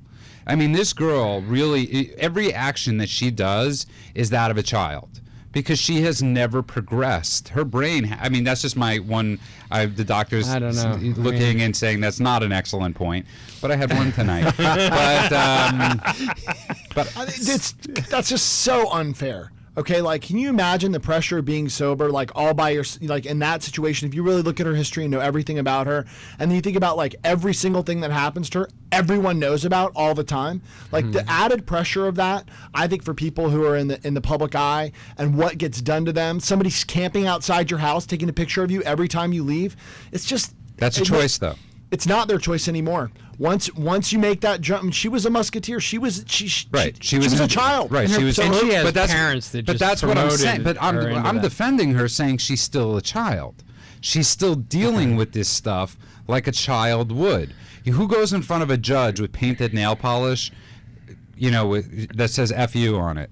I think that shows bad reality testing. I mean, she's at a point where you know she's impaired. Well, I think- and I think it's a lot. We see a lot of this with. Uh, uh, what I wanted to say was this radio show I was on this morning was um, there was a lot of younger people on the radio show. They were in their twenties, and I couldn't, you know, as I thought back, and it was about cheating, and I realized that of all the questions that they were asking me, they were all about themselves and their feelings and about what they would think about like emotional cheating and and what their thought of it. That None of them were thinking about what it really did to anybody else. Right. And we really have become this me generation. I mean, there's been talk about the me generation for a long time, but I, I mean, this was the first time I was actually in a room of a bunch of 20 year olds, and it was really clear to me that they really didn't consider the other person. It was, is it okay for me? Am I okay with it? Well, it's You like know, the drunk like- driving thing. I mean, nobody's thinking when they when, when they drunk drive. Right, am I thinking- okay with drunk driving? Right. As long as I'm okay with uh, driving Right. drunk, it's fine. It's not about whether it because the, else. the, the results of what hap- might happen to somebody else doesn't even cross into their stream. But we see that sort of almost puritanical is, and it is almost puritanical thing that created that, like harm reduction, right? Which we where we started with this. You know, a lot of people are opposed to harm reduction because they think it's enabling drug use. Right? Yeah, You're giving I- out needles. You're allowing people to come in. They overdose. They know they're not going to die. You're enabling them to use drugs. What do you think? I, I disagree. I mean, I just feel like that it's impossible to control people uh, and what they're going to do. It's supply side uh, drug policy and the drug war and all those things haven't really proven to be very effective. And I think that you know, the reality is that it doesn't matter how bad I want people to stop using until they want to stop using, they're not going to stop. Right. I can't make anybody do anything. I'm not here to define define people's goals for them. I'm help here to help them achieve those goals. So. I just think it's a it's a difference of philosophy, and also remember, like you know, there's a there's an, an ethical and a moral thing where some people really believe that addiction is a choice and that it's a moral failing, and I and I disagree with them. Just like, the, but 50 years ago, people thought depression was a moral failing and it was a choice. Just pull yourself up by your bootstraps. Come on, and now you know, and then we really realized that you know, depression had a medical basis. Which is one of the biggest reasons they named alcoholism and addiction a disease was to take the stigma, to take the moral stigma away because people weren't getting help. Well, but they named it a disease because it is a disease. Right, but I don't know in the beginning how much that was. My I had a therapist that actually did a whole thesis on this. Was that when they were fighting the AMA? Well, there are a lot of anti-disease model advocates still. I guess Stanton Right. Peele is probably the most famous. Right, he wrote "The Diseasing of America," which is sort of a diatribe on how there is no real addiction, and that you know um, what people are calling alcoholism addiction is really moral failings. I've, well, I've always had the thing on it where I like in the one of the books it says it's an allergy, and for me that always was. I, I I'm not disagreeing with people that call it a disease. For me, I always understood the allergy. Like once it touched my tongue, I couldn't stop. I had to keep it very simple for myself. I think for me, I run into a lot of people when they find out I don't drink. Everybody always has questions like, why, you know, why don't you drink? Why, mm-hmm. why aren't you drinking? You know, and a lot of times I, I'm comfortable telling people I'm an alcoholic, but sometimes I'm not. So I've, I've gotten accustomed to saying that I have an allergy to alcohol. Uh, and people will still press. You know, so if I, I just say it makes me break out into bad choices. You know what's really or funny? spots, spots like you know- jail institutions in the Yeah, gutter. but what's really funny though, because you hear that around the rooms in the twelve step rooms, a lot of people say that you know I break out in spots. Or my Right. brother-in-law is actually allergic to alcohol, and he does break out in spots. I mean, he literally gets red, yeah, yeah. red, the big red blotches all I, of. I date a lot of. Asian guys, and Asian guys, their face gets red Right. from drinking. What is that? There's a There's an enzyme, called right? alcohol dehydrogenase, and they and they just they have less of it, and so that they're not able to metabolize the alcohol appropriately. So toxic metabolites of alcohol build up and cause that reaction. That actually works adorable. the exact same way that antabuse works. So if you, if you have somebody Oh, who wow. takes antabuse or disulfiram, that blocks that same enzyme, and so it makes it so that you, you get toxin metabolites that build up rather quickly. And cocaine and alcohol form a different substance when when they're used together, correct? That's right. In the body, cocaine and alcohol form cocaethylene, which is supposed to be, you know, two great tastes that taste great together. It's like peanut butter and chocolate. Right. It's, it's supposed to release even more dopamine than cocaine by itself. Huh. But that's your real attraction to Asian men, though. the red Yeah, face. you were lying to us on the drive. They said they can't drink that much. cheap dates. Cheap dates. Oh my goodness. It's very safe for you I tell them drink at home. because there's nothing sexier than walk over, rosacea. Don't drive. Wow, we've now become a dating advice radio show. No, but, but, but what I was saying before is I just you know uh, you know w- there is that thing you know they say a lot you know the age you started to drink the age you got into your addiction is the age you stop growing. And you know, I mean, I don't know how true that is. I don't. I mean, what's your I, I think it's development. You're- Uh, right. Your development, your psychosocial development. Right. So, you know, I think we see a lot of people that, you know, when they're hard to understand, they're hard to understand their how they deal with situations. And a lot of times I do, you know, I was saying to a friend of mine, I, had, we, I, I knew a, a woman that was 44 and trying to get sober. And I said to my friend, I know she's 44, but we have, we, we have to look at her still like she's trying to get sober and mentally in some ways she's still a kid. Right. Yeah, I mean, you know, uh, there's just so many. Uh, it's I hate generalizations, and I, you know, I think it's so hard to say that you know you look at anybody and you say, oh, they're psychosocially arrested. It, you know, whenever they started drinking, uh, you know, It's uh, not arrested; it's blunted or stunted. Blunted or I think stunted. it's really and and and in what way it's going to be different for each individual. What in, their environment, what what areas did they still strengthen and develop, and what areas did they not strengthen and Right. develop? Everybody's different, and that's I think that's if you carry that with you, it will help you so much. And I think the other thing is that everybody may need some different combination of biology. Psychology, social, spiritual, and nutritional. One treatment by itself, be it biologic or spiritual or psychologic or social or anything, is may not work for somebody. So all of the above is always the best. One of the things we were talking about on the last break, which I thought was really interesting, is that you know meth is is just so much more addictive than anything else we've ever seen. And you were saying it was like you It just releases a lot more dopamine, uh, a lot more quickly than any of the other drugs. I was, I mean, I was looking at this website uh, yesterday, and it had the faces of meth. Yes, and I've I, seen that. you saw that? Did you have you seen Yeah. this? The before and after. Oh my god, It's amazing. Yeah. that is talk about scared straight. That should be shown in every, you know. But you know what's nice is the weight loss. The weight just comes right off. So it's along with the, And, along know- with all your health. and teeth. And your teeth. and, and, you know, it's, Teeth it- are heavy. it's you know but that's one of those things i i had a I, I I I I I was pleasantly plump as a kid i lost weight when i was 16 and i remember one of my biggest fears of quitting drinking was that i was going to gain weight you know i was Really, 'cause like drinking normally makes you gain weight. it, There's all those calories from that. yeah, but not when all you do is drink. you know, in the end, yeah, your liver doesn't, uh, you know, is having a hard time and you become bloated. But you know, when There's you're a lot of calories in alcohol. but when you're an alcoholic, you're not really thinking. Not You're, you're not really seeing straight. You know, you look in the mirror. It's like that commercial. Remember the commercial where the guy didn't have his glasses on, and he's like working out, and he like, you know, you see him like flexing his arms, and he looks great, and then he puts his glasses on, and he sees himself. That's like getting sober. You look at yourself, and you're like, woo, That- and that's exactly right because your limbic brain can affect your neocortex and it will come up with any story Yeah. to get you to, to not quit Yeah. to continue the use Yeah. it'll say oh no this will happen or that'll happen or you're going to lose this or you're going to lose that or these other terrible things are going to happen it could all be lies just to get you to continue to get that stimulus to I think it's hard for family members to really understand that, right? They they don't understand how the person that's actively using doesn't see what they how see. could they?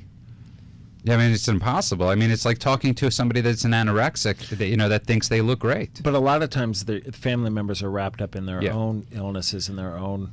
You know, all, my my whole family, with the exception of my poor mother, we're all alcoholics. Hmm. You know, so she just overeats. She's Well, that's you know, that's as addiction as that. I think food is one of the hardest addictions. yeah, because you have to have Yeah, it. Right. have Food and to have sex to me are two of the hardest addictions because they're the two things that you actually need. You have to moderate them. I don't know. I think cannolis are good. cannolis are good, but remember that, like, you know, uh, over half of Americans are overweight. And the people who produce the food and the choices that we make are not informed on how to keep people healthy. They're informed on how can you get the cheapest food that will release the most dopamine the quickest and get you to want to choose that food again. Right. And so with the advertising and the way the food is released, it is designed to get you addicted to it. I mean, if you think about like what some, you know, like soda, for instance, like it's not necessarily liquid any, candy. it's terrible for you, right? and corn syrup, high fructose corn syrup, is metabolized exclusively in the liver. So it's in some ways, it's you know, it, it it's a toxin. How's And that different from sugar?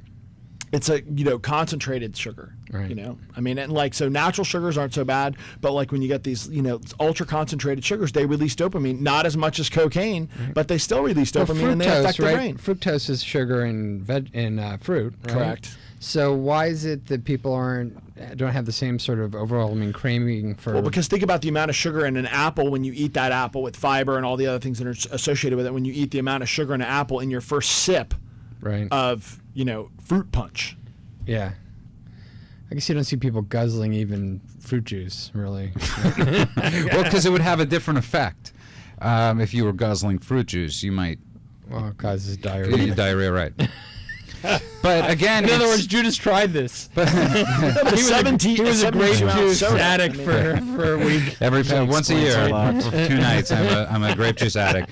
But you're right. I mean, you know, I, you know, we talk about this once a week. You know, Andrew will splurge on something that he enjoys and partaking in, a and the- milkshake. and milkshake. You know, and the rest of the week we eat healthy. But the problem is, how many people do live at McDonald's? How many people do people do live at Burger King? Everybody who's morbidly obese, right? Every day when they wake up in the morning, their brain still all day gets them to consume more calories than they can burn. Their neocortex knows that they don't want to be morbidly obese, yet they still consume that food. Why? Because their limbic brain can affect the way that they think and the way that they feel to get them to do it. It's the hmm. same basic issue as other substance dependence issues. It's just not thought of like that. And the food's cheap too. I mean, I live in Yeah. a very poor neighborhood, and you should the the Beverly Hills. no Koreatown, and the K-Town. grocery store where I the Ralphs where I work uh, shop at, you just see these families pushing these carts full of processed foods and and soda and just sugary sugary stuff and and all the kids are fat and the mom's fat and the dad's fat and it's and they're, they're just buying these things because they're just programmed it's it's cheap and it's easy and it's That's right. And know? it feels good. Yeah. And it feels good. It's very, very reinforcing. I gotta tell you though, it doesn't feel good. Last night, I, I mean, I, I, I constantly I drink Diet Coke, which I'm not, you know, bra- I know it's not healthy, but I had a two liter bottle of Coke. It was gone by this morning, and I was like, ugh. That, Is that- Diet Coke that bad for you? I, I mean, I drink Is it Coke one of your constantly. sponsors? It isn't, but I drink Diet Coke, and I, you know, Well, it's better than Pepsi, right? I mean, it's 99% water. What could be in there that's all I that had- It takes your body a lot of work to turn that bottle of Diet Coke into the bottle of water that it actually wants. So if you think about like giving It's your body, dehydrating, right? I mean, I know that. well, it's not necessarily dehydrating. It's just it's extra work for your body to actually process that compared to processing water. But here's another question: Who cares? And it some people might say it's like, okay, so somebody's morbidly obese; it's their loss, and I'm, I'm not taking away from what it costs us insurance-wise. But yeah, so we're we've become an obese society. What are we gonna do? What are you gonna, you know, what, you know, it's like whatever. Well. I, I would say like Winston Churchill was morbidly obese. You know, would we want him on a diet? You know, I mean, you know, Maybe you would have lived longer and been able to help out more. I- Maybe, All I I'm saying know. is that I think that the people who like the when we we live in an environment where our government is supposed to protect us to some extent from harmful products, right? And a lot of these products are a lot more harmful than they ever told us. And they were designed to get us to consume more and more and more of them, and without regard to our health. And it is your job, by the way, because you're a family. That's right. I'm a family medicine Yeah, doctor, it- so it- my job is trying to get right. people to not And die. My, I mean, my my dad teaches at Cornell, and I, there was always this Department of Food Science, and I never really thought much about it. And then, uh, What do you think I it was, found- like the Twinkie I and, just like, didn't really uh, get it. I was like, you know, why do they what do they study? And then I found out that they like figured out how to make junk food and stuff.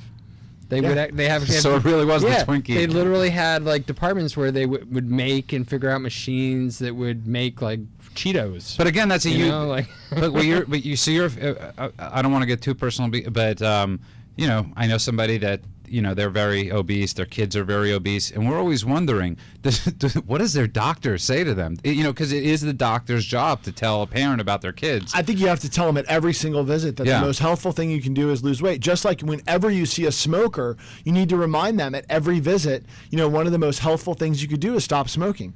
Because you never know when somebody's neocortex is going to kick in, take control again because it can, and start making different choices. And change is always difficult. Okay. I'm not going to sit here and say that change is easy because change is di- very difficult, but it is possible. And I think that it's a lot of it is just getting people moving in the right direction and giving them different tools. When I was a kid, I used to have a lot of problems with ligaments, tendons. I was a heavy kid, and one day I was probably about 13 or 14 years old, I had a doctor named Dr. Grant, orthopedic specialist, a great orthopedist, and he goes, "Listen, he goes, you're right, your tendons are bad, your ligaments are a little." He goes, "But there's one thing that's really going to help you." And he, I go, "What?" You know, I thought he was going to. He goes, "Lose weight." And I remember thinking to myself, "Oh my! I can't believe he just." It was the first doctor that ever said to me, "You need to lose weight." Right, but you remember that. I and remembered that, and two you. years later, I, lo- I, I it really did because I, I, you know, you, I, you, when you're heavy, you're in denial. You could create your own denial. It's no different than any addiction. It's what we were talking about. You look in the mirror and you don't see what you know.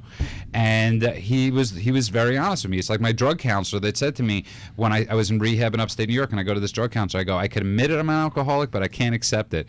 And he goes, I don't care. He goes, you know, you are one, whether you want to admit it, accept it, and he used different words, and um, and it was the first time somebody in my life didn't baby me. And I think we are scared as sometimes we, we're scared to tell people the truth because oh my God, they might not like me. But I, Well, I think America is a strange place as far as a culture. I mean, we have this very sort of um, Calvinistic, Puritan, sort of, um, you know, religious sort of heritage. Um, that's you know very all about a sin-based culture, and then we have this very libertarian, cowboy, free-for-all, individualistic side of America, and the, those two parts culturally are always fighting.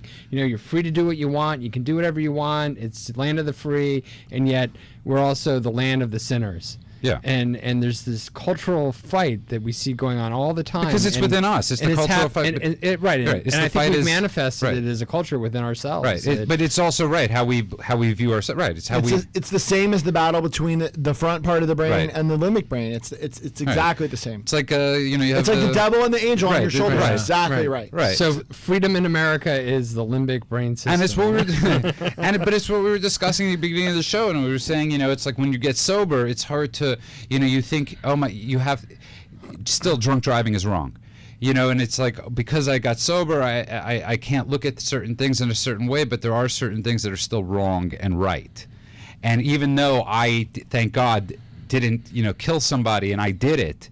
It doesn't make me because I'm sober now to go, oh, those, you know, it's okay, you know, you'll, it's progress, not perfection. No, hmm. don't drive drunk, you know, don't kill somebody. Well, this are- is where we get into issues like legalization of drugs and, and harm reduction, right? I mean, should we really legalize and regulate all drugs? and there is a healthy medium. You know, like the, the, the doc's approach, you know, with with your um, with the needle exchange is far different than Canada's approach, which is a needle exchange and a nurse. No, they have a they have a supervised injection supervised site, right. which actually is a whole, you know, like, and and that's actually the data suggests that that's been very helpful, gotten a lot of people into treatment, and helped a lot of people get better. But remember, like, you know, in Santa Monica, you don't see a lot of people smoking crack on the street. In Vancouver, in that neighborhood where the injection Yeah. site is, because I've been there, there's a lot of Yeah. people smoking crack and they on had the street. they had record overdoses And would we- in Vancouver, and that's why they started the needle exchange there, and because they were having the quality of heroin was going way up, and they had they just had record overdoses. Oh, really? So- Plus, they also yeah. have a lot of uh, morbidity from from abscesses, and you know people losing their limbs from these infected abscesses, and, and they just basically were like, okay, this is killing us. It's costing us tons of cash. Why don't we just give a safe place for people to inject if they're going to inject? and make the block really nice. and uh, well, I mean, just to sort of like you know, just reduce the harm that's going to happen from this, and and and the data suggests that it's been quite successful. Right. And then they provided treatment actually. That's right, that. made it accessible. Right. Hey, and you were- you want to quit this? Hey, you know what? Just talk to this person there right here. You're right, You just almost died. Maybe you might want to think about quitting. And that's one of the reasons why we started the free clinic as an offshoot of the needle exchange because a lot of the people at the needle exchange wanted to get better and there was no way for them to. They there was no outlet. There's no there was no medical component. Hey, if you're going to get drugs, if you're going to use heroin in a supervised clinic with a nurse standing over you, you're basically saying, I want help. I mean, because nobody in there, there there's nothing fun to me about going. I can't, you know, it's just, it, Is there anything Right, fun about being right. like a long-term heroin user? They're like- not getting high right, anymore. be They're like just getting better. It- They're just getting Right. the most like I, I don't know. I mean, I've interviewed thousands of heroin addicts, and basically what they tell me is there's no fun. The fun was gone long, Right, it's long, chasing long the ago. dragon. It's- it's- no, they're not chasing Yeah. anything. They're just trying Well, to survive, healthy. Right. stay well enough, avoid the fevers, chills, sweats, nausea, vomiting, diarrhea, runny nose, watery eyes, muscle pain, bone pain, joint pain, restlessness, agitation, insomnia, irritability, and craving that happens to them that incapacitates them if they don't use. you could have a competition, by the way, with that, that car guy when you were a kid from Mattel. You know, we got the, the Max Box Hour. the FedEx guy. The FedEx whatever. guy. I mean, he does. He does every prescription. he does every prescription drug commercial Yeah. with the side effects. It's a side job, right? Oh, Where do you practice, by the way? Uh, my private practice in Culver City. Uh, research is through UCLA and the free clinics in Santa Monica. What do you think about the internet? And ex- you know, now people can basically order online anything they want and get it from India. I think it's a little bit harder than it was. I mean, I know that the government's been cracking down on some of the internet-based pharmacies, uh, certainly for the uh, opiate products. But you know, I think that again, like supply-side drug policy probably doesn't help as much as we wish it would. Um, and I think that really, you know, I don't. That's not my issue. My issue is really with helping people who are trying to stop. You know, because I don't, I don't see how to s- prevent people from getting what they want. If it, if we, the more it's regulated, the more it goes underground. The more it's underground, the more like luc- the more lucrative it becomes. Um, so, do you think we should legalize drugs? I don't know the answer to that. I don't think that jail helps. You know, haven't Right. seen jail as being ultra therapeutic, and also don't understand if addiction is a brain disease and we can offer people treatment before incarceration, how the treatment that we offer people instead of incarceration doesn't include any biology or any doctors. I think the problem is, is that people that become addicts end up engaging in criminal behavior to support their addiction, mm. and then you have this weird dilemma where you have people that have acted criminally. I mean, that's what Prop Supported it, 36 yeah. and Well, I would bet you PC you went in- 1000 and all those things are for, which, and I, I, I'm supportive of that. But what we don't need is more people in jail. We need, and, and by the way, most of these people who are incarcerating, this is the meat of our earning population. Right. These are the people who are 20 to 50 who should be out there forming our tax base, you know, Right. out there like learning trades and becoming like the next workforce. Instead, they're in jail, they're not learning anything, and they're learning how to be better criminals. It's I don't see it as being wonderfully productive. But here's the problem. You're right. You get you smoke a joint, and you go to you know you, you there's if you kill somebody while you're high, or you know you rob a bank, there is you know and you are high, which I I, I would venture to say most. You know, nobody plans a bank job sober. I would just, I would, ha- I would have to say that nobody, you know, all good idea, you know, no good ideas come after 11 at night. I don't think most people decide to, you know, to do certain things, but they are high and they are on drugs or probably drug addicts. They still need. Some people still. There is a level of people that need to be in jail No doubt. You know absolutely. you know and that's the problem with the three strikes thing it doesn't actually give a judge the ability to say well to, to judge the situation for himself and say well you know your third offense was Well, it's like our FBI profiler last week was saying that there are just sadistic people. Right. Right. There's some people that are just sadistic. They're and- bad people who bad do bad people- things, no Yeah. question. so i have a question for you how many i have a friend actually he uh, has a a photo a, a camera store so he's constantly being bombarded by people that walk into his store and going i saw a better deal on amazon how many people walk into your practice after looking at webmd and die and feel like they have the diagnosis for what's wrong with them Well, first of all, 100% of the people who come into my practice already have the diagnosis made. Right? Okay. I'm addicted to alcohol. I'm addicted to crack. I'm addicted to opiates. You know, whatever it is. I mean, I, I don't do a tremendous amount of diagnostic dilemma. I do think the internet is a wonderful thing. I mean, I can't imagine trying to be a great doctor without the ability to look up uh, the information about the drugs that's constantly changing, to be to do computerized drug interaction scans, to look up areas of medicine and diagnoses that I'm not that familiar with. I mean, I, I feel like it's immensely helpful to me.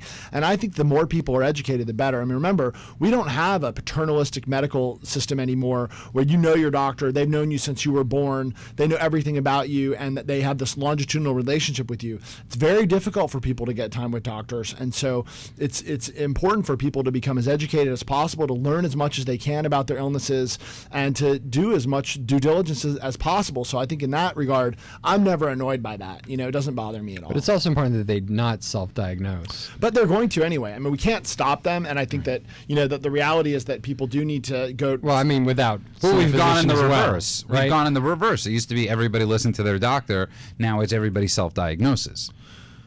Well, what I think we're saying is it's probably good to educate yourself, but you should still see a physician. Absolutely. I mean, and I think, but also as a society, we should make that realistic for people instead of saying, "Oh, guess what? Only the top, uh, you know, half of society is going to get to have access to medical care, and everybody else figure it out." But that same half doesn't have the internet. Everybody has, Everybody has the internet Yeah. now. Yeah. Yeah. Although there are still commercials for dial-up for people that have dial-up. You That's know, for Judah. That's because you don't pay your bills. anyway, we're going to take a break. What, on a, Um, on a knock? a landline? Well, we go to break on a knock. Thank you so much. Come back to Klean Radio and hear us pick on Judah some more. All right, 877 8 830 830. We'll be back in a second.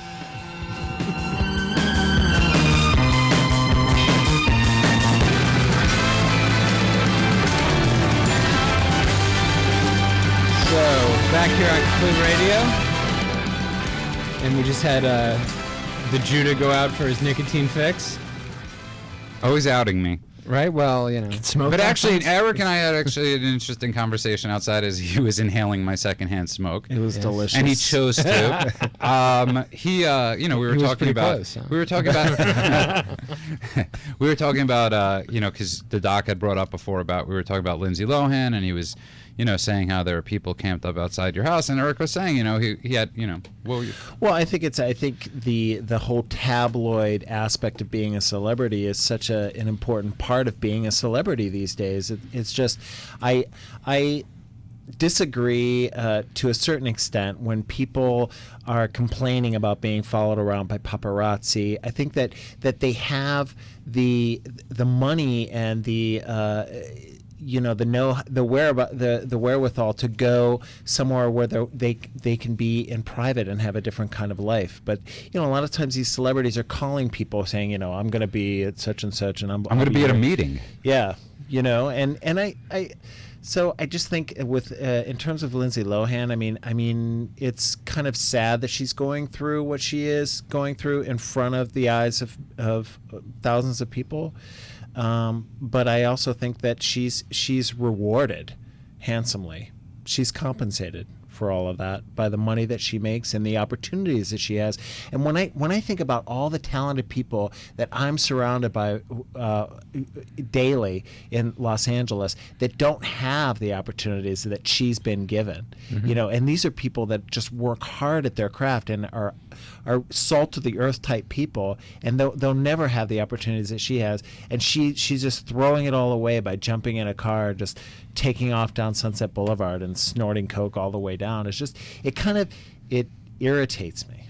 It just pisses me off. I think some of that's say that self-destructive nature of addicts. I mean, I think you know when people get desperate and they're you know they're just they don't you know they're looking whether they know it consciously or not they're they're wanting to get caught. You know, And, the, and she's surrounded by yes people too. I'm sure mm. she's surrounded by everybody saying whatever you want, Lindsay. Whatever you want. I was thinking about that the want." other day. Like anybody that would drink with Lindsay Lohan right now is either an alcoholic or mentally disabled. Okay, because if certainly anybody, uncaring. right, because if anybody right now would drink with her or use with her, knowing that knowing what she has done, I get it. Lower companion, if somebody's using with her, I get that. But if you're if you're if you are not drinking and you're watching this girl drink and you're not leaving that apartment, you know, you, you there's some fame is very intoxicating. I mean, people change when they're around famous people. You know. I don't know, man. I feel like you know until you walk a mile in somebody else's shoes, it's hard to really put you know to judge them. And I try not uh-huh. to judge anybody. it's- I, it's clear that to me that she's suffering a lot, and I feel bad. But here's help the- everybody who's suffering. But here's the problem: is I, I, I get it that I, I, I understand we're not supposed to judge, and we're not I, I, that. But the problem is, is that people do look at her. That's where the problem in lies. It's like Reese Witherspoon. We spoke about this last week. Her great speech when she won the what was it the video the blockbuster Video Music Award. right was and she said you don't have to you know do a sex tape to be famous you don't have to do certain things Well, people were actually like, uh, you know, the, the accolades for Charlie Sheen for being a coke addict. I mean, he's sitting there on TV saying that he, you know, banged down seven grams of coke, and like, you know, he's like some superhero for it. I Right. mean, it's ridiculous. Right, but and so I think I, I think there has to be a counterpoint to to this behavior. And that's just my opinion. I think people do have to stand up eventually and say, you know, this isn't right. You know, this these you know, I've seen far more famous people get sober. I've seen far more pe- famous people with paparazzi get sober. And I think at a certain point somebody, you know, it's w- when okay, so maybe tough love. I don't, you know, I, mean, I don't think anybody's saying it's right. I just, you know, I think that like it's you, you don't. It's just like any other addict who's doing any other thing that they shouldn't do when they're using. Okay, it's like. I, there's no there's no value in picking it all apart. It's not okay. We realize that like you know people do a lot of bad things when Right. they're using things that they would have never done. If Lord they knows I've done them. So And it's I'm not- like so I don't spend a lot of time focusing on Right. those things. What I really look at is like what's it going to take for somebody to get better. And when I see somebody in that kind of situation, I think it's more difficult for them to get better than an average person of the same age That's with where- the same intelligence and the same wealth in a different environment. I ha- that's where I, I really have to. I mean, I respectfully disagree with you, and um, I mean it's just from my experience, from my own experience of seeing people of far greater talent, of far greater celebrity. You know, I, I've met people that have had three homes that got sober. I I I I. I think it takes moving out of Hollywood.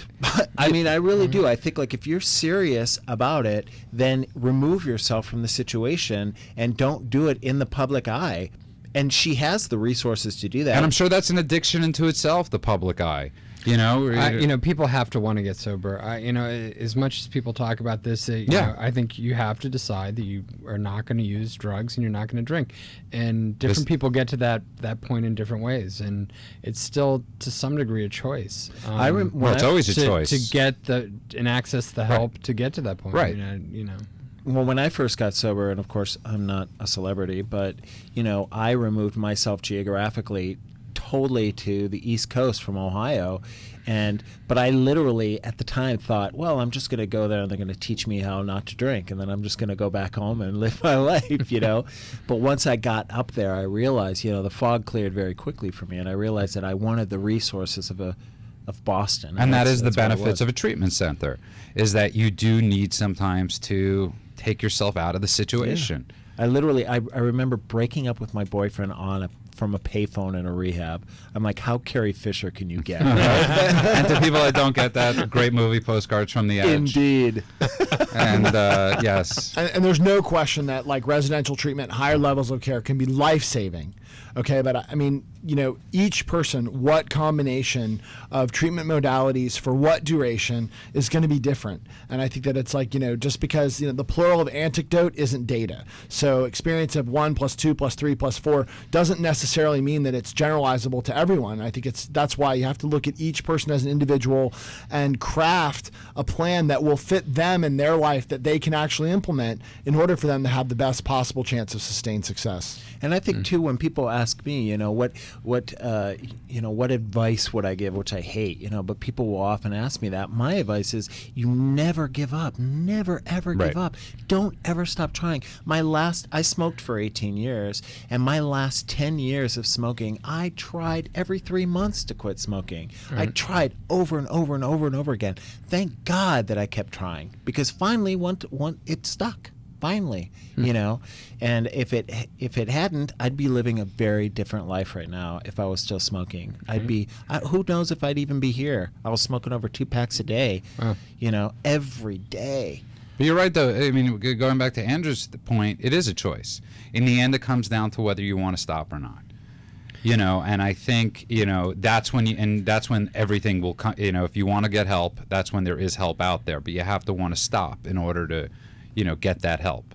Amen. The patient is the quarterback and the captain and the coach of the team. Right. They determine which players are on the team, which players are on the field, and every play runs through them. So I can have the greatest ideas ever, but if they're not willing to implement them, it's which most alcoholics and addicts do when they're using.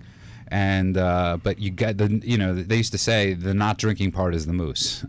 You know you get to not drink and then change. It's very hard to change and then not drink I also think a lot of things happen outside of treatment. Like, uh, you know, a lot of people come in to my treatment center and they say, let me see the group schedule. You know, like, when do they get this treatment? When do they get that treatment? And, like, that's when it's going to happen.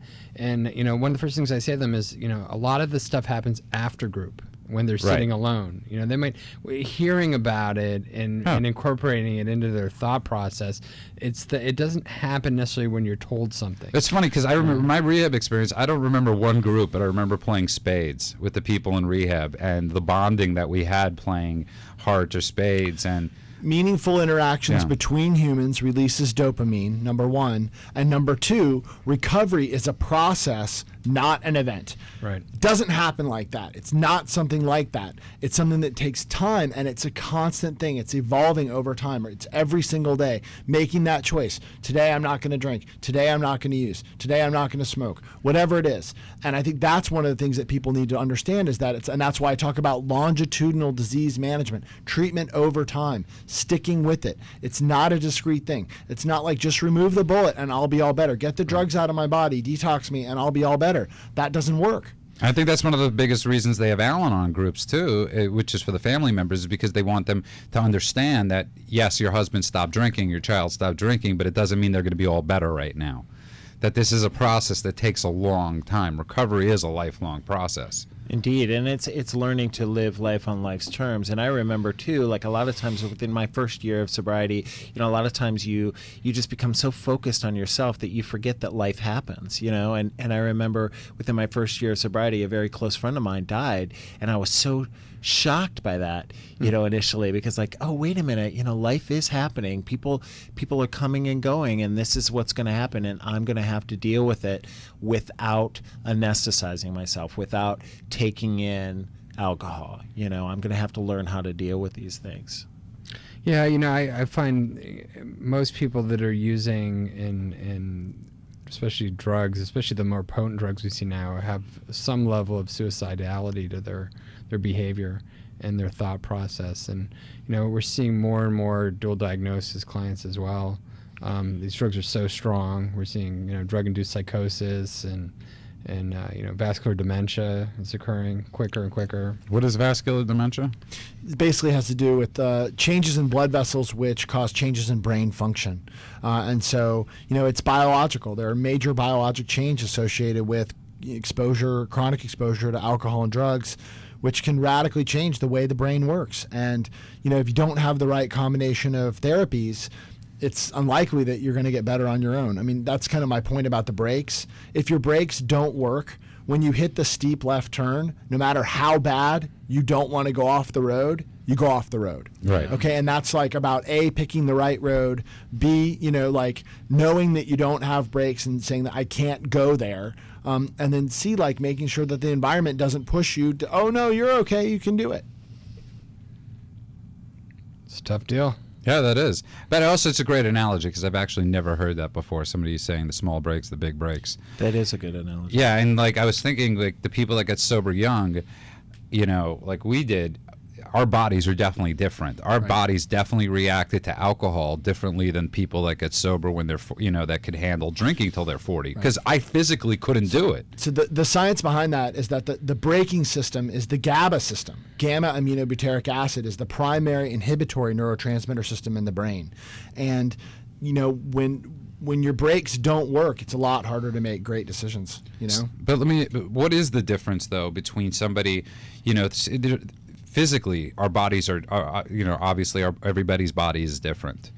So the people that get in here when they're younger, their bodies could not keep functioning at the same pace that other people's bodies could. You know again it's like it's impossible to generalize Right. but like so there are all there's all sorts of things that we know. Like one thing we know is that the more tolerant you are to alcohol and drugs the more likely that you're going to become dependent. So the person who can drink one drink and they're loaded they don't turn into an alcoholic as frequently as somebody who can drink 40 drinks. Right. okay because like more toxin causes more damage.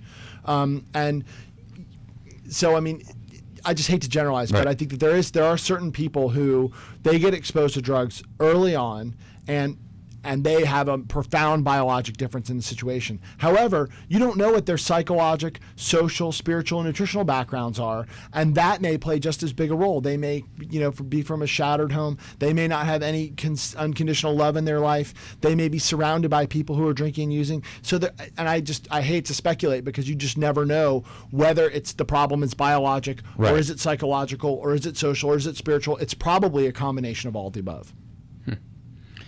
So, Eric, after you stopped drinking, did life get better for you? Oh my gosh, im- yes, immensely, immensely. And I, I realized very early uh, in my sobriety that uh, that sure the tough things were going to be tougher because I wasn't anesthetized, but the things that were supposed to feel good felt better because I was able to feel them. I was able to feel love. I was able to feel uh, joy, you know, and and that that with my smoking that was a big one too. Like I, it was very dramatic for me the first day. I can remember clearly uh, when I was not smoking and I was smoke free, and I smelled something in the air, and I, I'm like, what?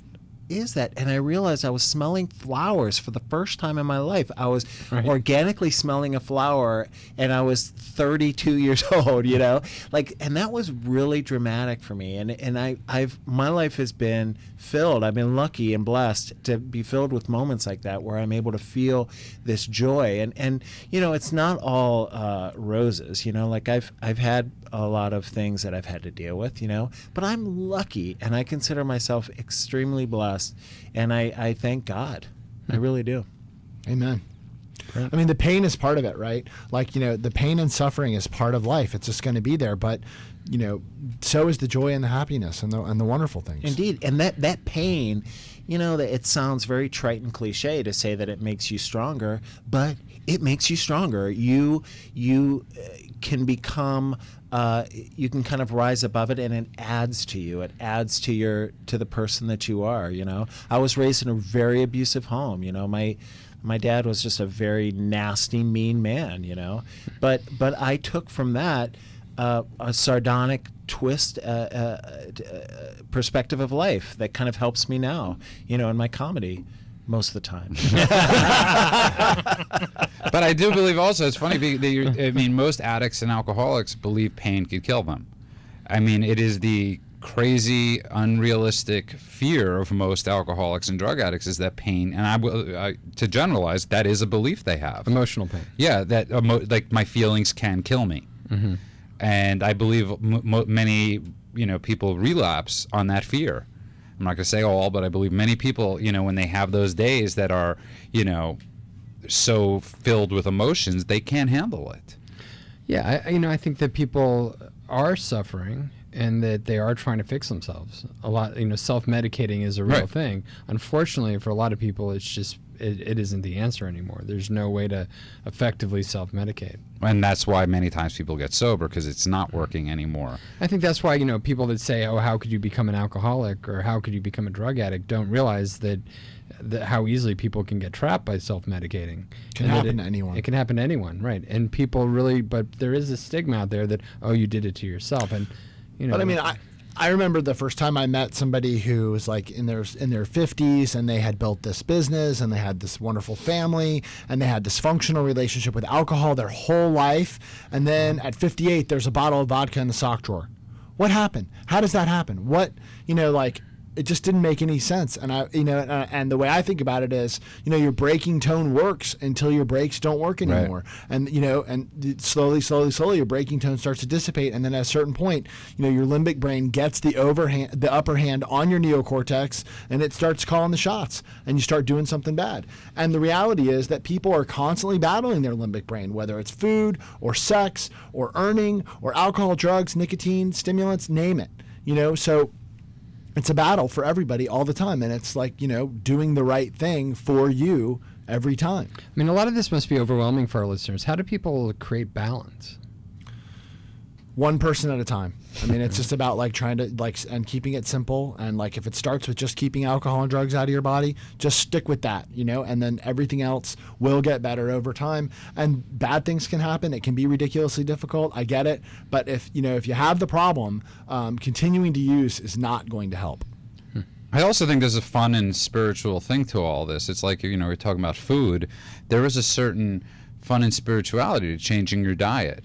You know, to learning how to cook for yourself, to learning how to do certain things instead of going to you know Chuck E. Cheese or McDonald's, and that being your diet. There is something very cool about going like we were talking about, going to Whole Foods, and or uh, even even drinking enough water. I, Yeah. I people do not drink Drink enough enough- yeah. water, and you, you'd be amazed how good you can feel if you just drink enough water. These guys are drinking coke diet coke I know. and I can- coffee I never drink soda though. This is like This the is worst This, is- this is a treat. He's, I he's like- just seen the excitement he had at the gas station. like- at the gas station before the show, he's like, I "Can I gotta- get a Can Coke?" I have a real Coke? Yeah, can I have a real like, Coke? yeah, I was dude, like, I'll guys buy a don't Coke. know. Of course he can. I'm gonna break out into show tunes. Of course you minutes.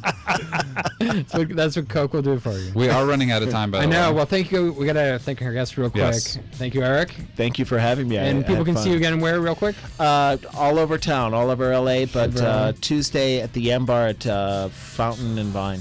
Great. and Fixter. And Dr. Torrington, thank you so much for coming all the way down here. My pleasure thanks for And your having me practices in, culver city and people can reach you over the internet maybe or hit or hit kleanradio.com, and we'll have a link.